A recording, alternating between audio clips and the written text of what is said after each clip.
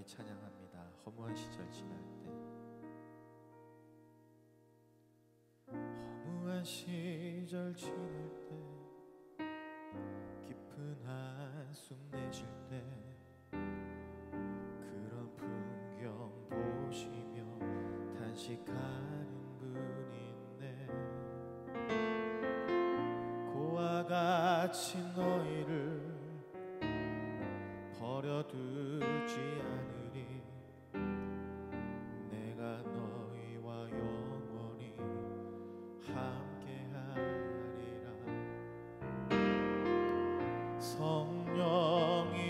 오셨네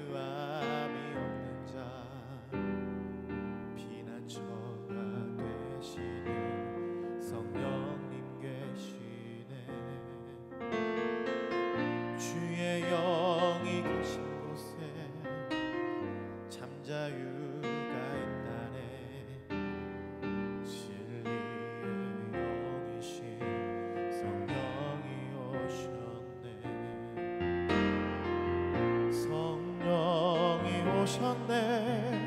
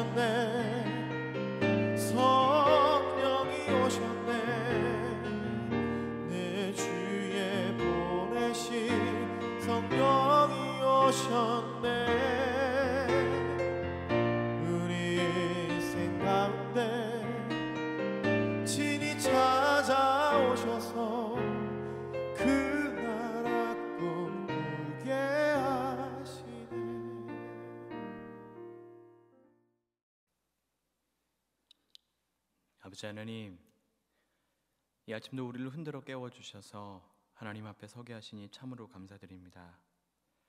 하나님 이제 어느덧 감사의 계절을 지나 기다림의 계절을 맞이합니다. 이 기다림의 계절, 우리의 간절한 바람과 기다림과는 달리 짙은 어둠의 시간이 여전히 우리의 곁에 있어 참으로 무겁고 안타까운 요즘입니다. 가장 어두운 역사의 한복판에 한 줄기 빛으로 이 땅에 오셨던 예수님, 이 아침도 어두운 우리의 삶의 형편과 마음 가운데 빛으로 찾아와 주옵소서. 두려움과 칠흑 같은 어둠으로 타들어가는 우리의 삶과 마음 한복판에 친히 찾아와 주셔서 우리에게 허락하신 이 시간들을 잘 견디며 지나가게 하옵소서.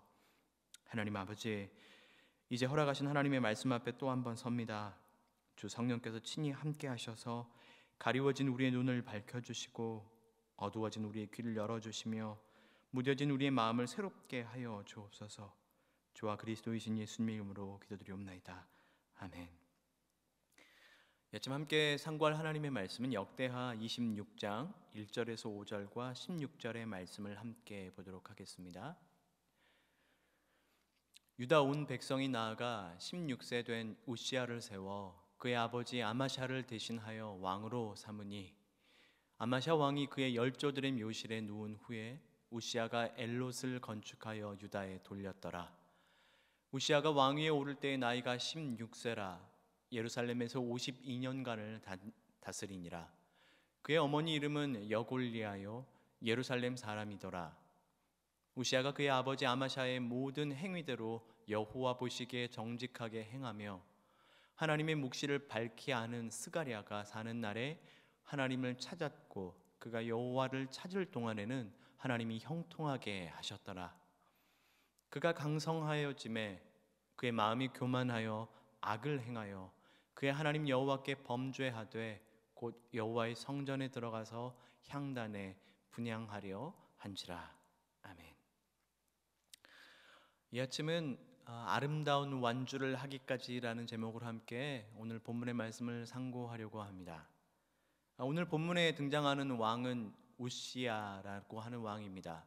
이 우시아는 아버지 아마샤를 이어서 16세의 왕위에 올라서 52년간 예루살렘에서 어, 통치했습니다.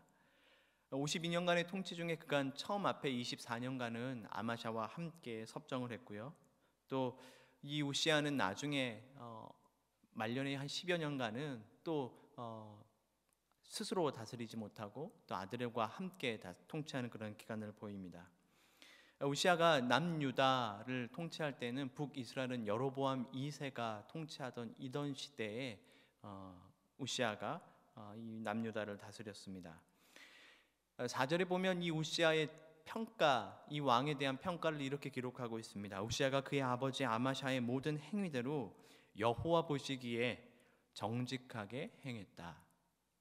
지금 역사가는 우시아 왕을 평가하기를 이 우시아 왕은 아버지의 모든 행위대로 하나님 보시기에 정직하게 행했다라고 하는 아주 좋은 호평을 남겨 놓았습니다. 그런데 그가 이렇게 여호와 보시기에 정직하게 행했던 이유, 그가 이렇게 할 수 있었던 그런 근원에는 5절에 보면 이렇게 이야기하고 있습니다. 하나님의 묵시를 밝히 하는 스가랴가 사는 날에 하나님을 찾았고 그가 여호와를 찾을 동안에는 하나님이 형통하게 하셨더라. 무슨 말입니까? 그의 곁에는 하나님의 묵시를 밝히 아는 스가랴, 하나님의 뜻을 깨닫게 해주는 하나님을 경외하게 하는 것을 가르쳐 주는 스가라가 곁에 있었기 때문에 그가 함께하는 동안에는 이 우시아가 여호와를 찾았다는 것입니다. 보이지 않는 하나님, 그 하나님을 곁에서 보여주는 사람, 들리지 않는 하나님의 그 소리, 음성을 계속해서 생각나게 하는 상기시켜주는 사람, 하나님을 경외하는 것이 무엇인지를 곁에서 끊임없이 가르쳐주고 기억나게 했던 사람, 그 사람 스가랴가 우시아 곁에 있을 동안에는 이 우시아가 하나님을 찾았고 하나님을 기억했고 하나님 여호와의 길을 따라 걸었다라고 평가하고 있습니다. 여러분 혹시 지금 여러분의 곁에는 이 우시아 옆에 스가랴처럼 여러분 곁에 지금 하나님을 생각나게 하는 그 사람, 하나님을 떠올리게 하는 그 사람, 하나님의 말씀을 계속해서 들려주는 그 사람, 여호와를 경외하는 법을 알려주는 그 사람이 혹시 있으십니까? 흔들리고 무너지고 깨지고 부서지고 답답하고 막막할 그때에 보이지 않는 하나님을 보여주는 것만 같은 그 사람이 곁에 계신지 모르겠습니다. 어, 어제 이제 말씀을 묵상하면서 이 우시아 곁에 는 이 스가랴를 생각하면서 여러분 익히 아실 만한 그 함석헌 선생님의 시 가운데 그 사람을 가졌는가라는 시가 생각났습니다. 이 아침에 함께 좀 그 시를 좀 여러분과 나누고 싶습니다. 그 사람을 가졌는가? 말리길 나서는 날 처자를 내맡기며 맘 놓고 갈 만한 사람, 그 사람을 그대는 가졌는가? 온 세상 다 나를 버려 마음이 외로울 때에도 저 맘이야 하고 믿어지는 그 사람을 그대는 가졌는가? 탔던 배 꺼지는 시간 구명대 서로 사용하며 너만은 제발 살아다오 할 그 사람을 그대는 가졌는가? 불의의 사형장에서 다 죽여도 너희 세상 빛을 위해 저만은 살려두거라 일러둘 그 사람을 그대는 가졌는가? 잊지 못할 이 세상을 놓고 떠나려 할 때에 저 하나 있으니 하며 빙긋이 웃고 눈을 감을 그 사람을 그대는 가졌는가? 온 세상의 찬성보다도 아니 하고 가만히 머리 흔들 그 한 얼굴 생각에 알뜰한 유혹을 물리치게 되는 그 사람을 그대는 가졌는가? 여러분, 여러분은 그 사람이 곁에 있으십니까? 그 사람을 가지셨습니까? 이 함사건 선생님의 시에 한 문단을 덧붙이자면 보이지 않는 하나님을 보여주는 들리지 않는 하나님의 소리를 들려주는 그 사람을 그대는 가졌는가? 라고 오늘 본문이 우리에게 묻는 것 같습니다. 근데 여러분, 그렇게 그 사람을 내가 가졌는가 라고 하는 이 질문을 계속 하다 보면 어느덧 이 질문은 또 이렇게 우리에게 찾아오는 것 같습니다. 그렇다면 너는 저와 여러분은 과연 곁에 있는 사람들에게 그 사람이 되어주고 있는가? 라고 말입니다. 저와 여러분은 지금 다른 사람이 우리를 계속 하나님을 기억하고 하나님을 바라보게 만드는 그 사람이 있는가를 두리번거리는 것과 함께 우리는 과연 곁에 있는 사람들에게 하나님을 생각나게 하는 사람인가? 하나님을 기억하게 하는 사람들인가? 하나님의 소리를 끊임없이 계속해서 이야기해 주는 사람들인가라고 한번 되물어야 되지 않을까 싶습니다. 제 자신에게 이런 질문을 하다 보면 쉽게 대답을 못하는 것 같습니다. 제 삶이 부끄럽고 저의 언행이 부끄러워서 과연 내가 곁에 있는 사람, 가까이 있는 사람, 함께 머물고 있는 사람들에게 하나님을 드러내는 사람인가 생각해 보게 됩니다. 바라기는 이 아침 이 말씀 앞에 선 우리 모두가 곁에 있는 사람들에게 하나님을 보여주고 하나님에게 하나님의 말씀을 들려주는 그 사람이 될 수 있었으면 참 좋겠습니다. 그렇게 곁에 있던 어, 스가랴를 통해서 계속해서 하나님의 길을 쫓았던 이 우시아에게는 하나님께서 형통의 복을, 복을 허락하셨습니다. 그 형통의 복이 내용이 무엇인지를 6절에서 15절까지 기록해 놓고 있는데요. 6절에서 8절은 그 우시아의 외교 정책을 통해서 하나님께서 주변 국가 어떤 좋은 관계를 맺으면서 남유다가 강성했던 시기들을 보여줍니다. 블레셋, 암몬을 정복, 정복 했을 뿐만 아니라 예루살렘에 있었던 성의 망대를 또 새롭게 건축하고 또 왕 근처에 있었던 토지들과 포도밭에 수많은 사람들을 경작하게 하면서 태평성대를 이루었던 그런 모습을 또 그리고 있습니다.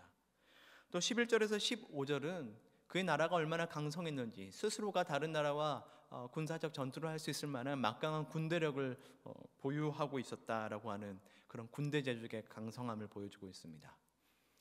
어, 영토는 넓어지고 경제는 풍요롭고 또 스스로를 지킬 만한 또 그런 군사력이 강대한 그런 나라가 그런 형통의 복을 하나님께서 우시아에게 허락하셨습니다.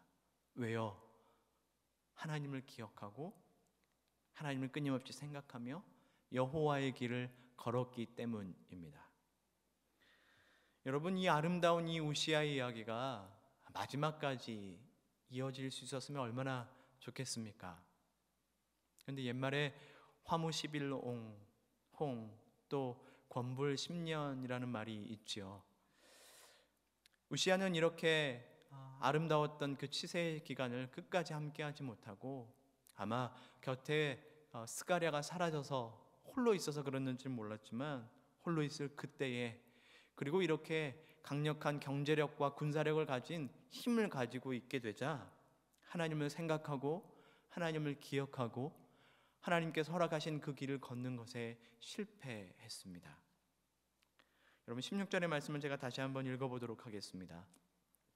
그가 강성하여짐에 그의 마음이 교만하여 악을 행하며 그의 하나님 여호와께 범죄하되 곧 여호와의 성전에 들어가서 향단에 분양하려 한지라. 여러분 출애굽기 30장과 민수기 16장, 18장에 보면 하나님께서 정해 놓으신 규례에 따르면 여호와의 성전 성막에 들어가서 하나님께 제사를 드릴 때 분양을 하는 일은 하나님께서 레위인들에게 제사장들에게 따로 어, 부탁하신 일입니다. 그래서 하나님께서는 그 일들은 어, 다른 일들 다른 사람들이 하지 못하도록 경계를 설정해 놓으셨습니다. 그런데 지금 우시아는 하나님께서 설정해 놓으신 그 경계, 하나님께서 그어 놓으신 그 선을 넘어서 자신이 제사장이 해야 할 역할까지 대신하면서 성전에 들어가서 분양하려고 일들을 했습니다. 하나님의 성전에서 우시아가 분양하려고 하는 이 일들을 보고 급박하게 제사장 아사랴가 군사들과 함께 와서 그를 말리려고 합니다. 그런데 이미 우시아는 아나무인이 되어서 그 제사장의 말을 외면한 채 한 걸음 더 나아가서 향로를 붙들었습니다. 그리고 그가 하나님 앞에 분양하려고 했습니다. 그런데 그때 그때 하나님께서 즉시 그 우시아의 이마에 한센병이 나게 하시면서 그 성전으로부터 그를 쫓아내셨습니다. 여러분 레위기 13장에 보면 지금 성경에서 기록하고 있는 이 나병이라고 기록된 한센병에 걸린 사람들은 부정한 사람들이라 여겨졌습니다. 그래서 이 한센병에 걸린 사람들은 사람들 앞에서 옷을 찢고 머리를 풀어 헤치고 윗입술을 가리면서 나는 부정하다, 나는 부정하다, 나는 부정하다라고 사람들 앞에 외치면서 사람들이 자신 곁에 오지 못하도록 했습니다. 이 사람들이 지금 부정하다, 부정하다, 부정하다라고 이야기하는 것은 다른 의미로 이야기하자면 나는 거룩을 상실한 사람입니다. 나는 거룩을 상실한 사람입니다. 나에게서 거룩이 떠났습니다라고 이야기하는 것과 같습니다. 그래서 지금 우시아는 거룩을 상실한 사람이 되었습니다. 하나님을 기억하고 하나님을 경외하고 하나님을 의지하는 마음을 상실한 채 자신이 가지고 있는 소유와 자신에게 허락된 그 힘을 붙들고 있는 우시아. 그래서 그 우시아는 지금 하나님으로부터 사람으로부터 배제된 채 고립된 채 거룩을 상실한 모습으로 부정한 모습으로 변모했습니다. 참 비참한 것은 23절에 보면 어, 심지어는 이 우시아는 죽어서도 이 한센병을 유지한 채 죽었기 때문에 조상들과 함께 왕실 묘지에 있지 못하고 바깥에 변두리의 왕가에 속한 변두리 땅에 따로 죽어서도 배제된 모습을 보입니다. 여러분 이 우시아의 비극적인 이 수치의 말로를 보면서 사도 바울이 갈라디아 교회를 향해서 맹렬하게 쏟아놓던 그 질문이 생각납니다. 갈라디아서 3장 3절에 보면 어, 사도 바울이 그렇게 갈라디아 교인들에게 묻습니다. 여러분들은 그렇게도 어리석습니까? 성령으로 시작하였다가 이제 와서는 육체로 끝마치려 합니까?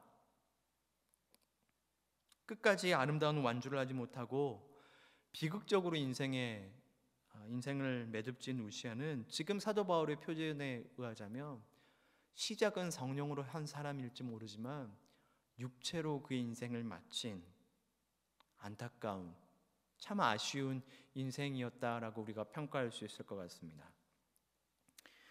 여러분 지금 우리 곁에도 수많은 사람들이 참 많은 사람들이 이 우시아의 길을 걷고 있는 것 같습니다. 한때는 하나님을 기억하고 하나님을 두려워하고 하나님을 모시며 하나님과 동행하는 그래서 형통한 삶, 형통한 사역을 하던 그 수많은 사람들이 어느샌가 퇴색하고 변색되어서 변질되어서 성령으로 시작했던 그의 삶들이 점점 육체로 맞춰가는 그의 모습들, 안타까운 모습들을 우리가 주위에서 종종 보는 것 같습니다. 그런데 여러분 참 두려운 것은 이 우시아의 이야기, 이 사도 바울 갈라디아 교회에게 맹렬하게 했던 이 질문은 저와 여러분에게도 해당된다는 이야기, 저도 저와 여러분들도 자유로울 수 없다는 것입니다. 사랑하는 성도 여러분, 간절히 원하기는 저와 여러분의 삶이 비록 육체로 시작한 삶이었을지라도 우리 인생의 마무리는 우리 코에서 호흡이 떠나는 그 순간에는 성령으로 맞추는 삶 되었으면 참 좋겠습니다. 우리의 인생뿐만 아니라 하나님께서 우리에게 맡겨주신 일을 감당하고 우리에게 주어진 삶을 살아갈 때에 설령 우리의 부족함 때문에 우리의 육체로 시작한 그 일들이 있다 할지라도 끝까지 육체로 마치는 삶이 아니라 마칠 때에는 어떤 일이든 관계든 어떤 부탁하신 직이든 그 모든 일들이 성령으로 마무리되는 아름다운 완주를 할 수 있는 사람 되었으면 참 좋겠습니다. 때로는 우리 곁에 우시아처럼 우시아 곁에 스가랴가 있던 것처럼 그 사람이 곁에 있는 때도 있지만 때로는 스가랴가 떠나는 홀로 있을 때도 있는 것 같습니다. 그런데 여러분 그 홀로 있을 때라도 우리가 바로 서기를 할 수 있었으면 좋겠습니다. 스가랴, 같은 그 사람이 곁에 없는 시간이 우리에게 찾아올지라도 광야에 홀로 서 있는 것 같은 메마른 시간을 거는 것 같을지라도 그때에도 저와 여러분은 하나님을 기억하는 일에 실패하지 않았으면 좋겠습니다. 여전히 하나님을 두려워하고 하나님을 동행하는 성령과 함께 아름다운 경주를 하는 그래서 끝내 완주를 하는 삶이 되시기를 참 소원해 봅니다. 그래서 여러분 이제 이 아침 말씀을 좀 마무리하면서 저 여러분과 저와 제 자신에게 이렇게 이야기했으면 좋겠습니다. 우리 함께 그 사람이 됩시다. 그 사람을 곁에 주는 것도 두는 것도 참 중요하지만 그 하나님을 기억하게 하는 그 사람이 되십시다. 그리고 또 저와 여러분에게 허락된 모든 관계, 일, 직분, 또 우리의 삶 마지막까지 아름다운 완주를 하는 사람들로 하나님께서 빚어주시도록 이 아침 함께 기도하면 좋겠습니다. 여러분 이 시간 좀 함께 기도하겠습니다. 이 말씀을 기억하면서 이렇게 좀 세 가지로 좀 기도하십시오. 하나님을 생각나는 나게 하는 그 사람을 저희 곁에 두는 지혜가 있게 해 주십시오. 또 뿐만 아니라 곁에 있는 사람들에게 저희가 우리 자신이 그 사람이 되게 해 주십시오. 또이 우시아 인생을 보면서 비록 우리의 삶이 시작이 육체로 시작한 삶이었을지라도 우리의 마지막은 우리의 끝은 성령으로 완주하는 그런 삶 되게 해 주십시오라고 이렇게 말씀을 기억하면서 함께 기도하도록 하겠습니다. 기도하시겠습니다. 하나님 아버지 이 시간 오늘 우시아의 삶을 통해서 하나님께서 우리에게 던지시는 그 질문에 응답하려고 합니다. 하나님 우리 곁에는 우리의 삶에는 끊임없이 우리에게 하나님을 기억하게 하는 우시아에게 스가랴와 같은 그런 사람이 곁에 있는지 한번 생각해 봅니다. 하나님 우리는 지금 누구와 함께 인생길을 걷고 있습니까? 하나님의 길을 생각나게 하는 사람들과 함께하고 있습니까? 아니면 하나님의 길이 아닌 다른 길을 생각나게 하는 그 사람들과 함께하고 있습니까? 주님 우리 곁에 누가 있는지 기억하기는 이 아침 되게 해주십시오. 하나님 또 한 번 질문하며 우리가 하나님 앞에 우리 자신을 돌아봅니다. 하나님 과연 우리는 우리 곁에 있는 사람들에게 하나님을 생각나게 하는 사람들인지 하나님의 말씀을 들려주는 사람들인지 하나님을 기억나게 하는 사람들인지 한번 다시 한번 생각해 봅니다. 하나님 우리의 입술이 우리 입술에서 나가는 모든 말들이 하나님을 기억나게 하는 말들 되게 하여 주십시오. 하나님 우리가 걷고 있는 우리가 두 발로 걷고 있는 우리 인생길이 하나님을 생각나게 하는 그런 길이 되게 하여 주십시오. 하나님 우리가 하고 있는 모든 일들이 우리가 손으로 하고 있는 모든 일들이 하나님을 생각나게 하는 그런 일들 되게 하여 주시옵소서.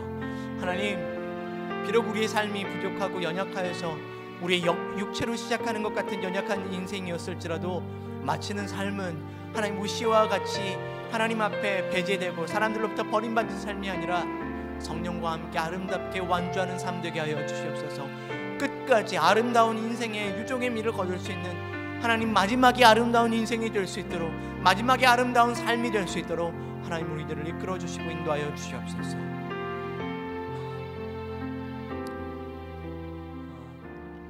이 시간 함께 또 선교사님을 위해서 기도했으면 좋겠습니다. 또 제임스한 지난 선교사님을 위해서 함께 기도했으면 좋겠는데요. 아, 지난 주에 또 우리 제임스한 선교사님이 홀로 또 일본 땅으로 잘 지나가 어, 건너가셔서 시간들을 보내고 계시는데 그래서 지금 지난 집사님께서 혼자 또 베트남에 계시는데 어, 하나님께서 허락하신 이 시간 베트남에서 보내는 시간 이 인턴십과 훈련을 통해서 하나님의 인도하심을 구체적으로 경험할 수 있는 시간 되도록 우리 지난 선교사님을 위해서 기도해 주셨으면 좋겠습니다. 또 동시에 지금 일본에 가셔서 혼자 시간들을 보내시는데 지금 일본이 많이 춥다고 합니다.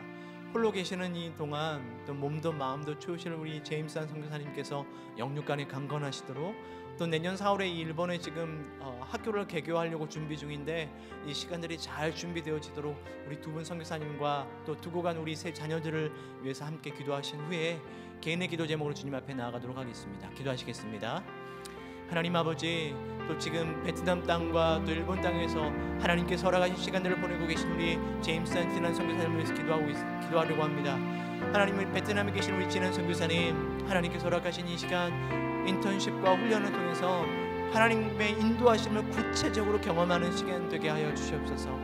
하나님 그저 버리는 시간, 낭비하는 시간이 아니라 하나님의 인도하심과 하나님의 허락하심과 하나님의 예정 안에 이 시간들이 포함되어 있음을 구체적으로 보게 하여 주시옵소서. 함께하는 또 선교사님들을 통해서 또 섬기는 베트남의 영혼들을 통해서 하나님께서 예비하신 그 걸음을 통해서 또 일본 땅에서 보내게 될 그 시간들을 아름답게 준비하는 시간 되게 하여 주시옵소서. 하나님이 경주를 하는 동안 하나님 수많은 사람들과 아름다운 인생의 경주를 할 때, 하나님이 사역의 경주를 할 때, 또 하나님께서 허락하신 그 삶을 살아갈 때 하나님께서 부탁하신 일들을 아름답게 성령과 함께하는 사람들 되게 하여 주시옵소서. 또 일본 땅에 혼자 건너가셔서 시간들을 보내신 우리 제임산 선교사님 하나님 홀로 계셔서 몸도 마음도 많이 추우실 텐데 하나님 이 시간 특별한 하나님의 보호하심과 하나님의 인도하심과 하나님의 안아주심이 있기를 소망합니다. 영육간에 강건하게 하여 주시고 특별히 4월 내년 4월에 개교를 준비하고 계시는 그 과정 가운데 하나님 제이수한 석연을 통해서 그 학교를 통해서 하나님의 아름다운 일들이 계속해서 펼쳐지게 하여 주시옵소서. 두고 간 세 자녀들이 있습니다. 그들의 몸과 마음이 하나님 지치지 않도록 하여 주시고 하나님 또 어, 신체적으로 건강으로 하나님께서 붙들어 주셔서 부모가 떠났지만 곁에 있지 않지만 하나님이 함께 하시는 또 우리 선한 청기교회가 함께 형제 자매와 부모가 되어지는 시간들을 경험하는 시간 되게 하여 주시옵소서. 하나님 날로 어두운 시간들이 가득한 이 시간 속에서 우리 성- 사랑하는 성도님들의 몸도 마음도 건강을 지켜주시고 특별히 어려운 이 전염의 시기로부터 하나님께서 구별하여 지켜 주시옵소서. 구별하여 지키는 이 대림의 기절 하나님 우리 모두와 함께하여 주시고 내일도 드려지는 예배의 시간 가운데도 하나님 함께하여 주시옵소서.